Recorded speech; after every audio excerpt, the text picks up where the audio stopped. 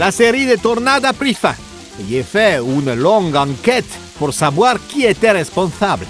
D'après les données, le coupable, c'est... moi. Quoi? Non, pas possible Il y a une erreur de calcul quelque part